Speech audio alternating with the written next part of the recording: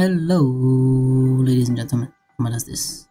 This video is going to be day 3, pack number 3 of Pokemon Sword and Shield, Brilliant Stars. So without further ado, let's get it. Alright, so with third day, bring us any luck with any of the hits. We shall see, we shall see. That was 3 from the back. Yep, 3 from the back.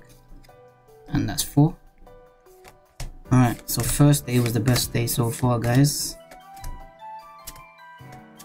Will day 3 bring us bring us anything better? Nope. So day 3 was also a dud.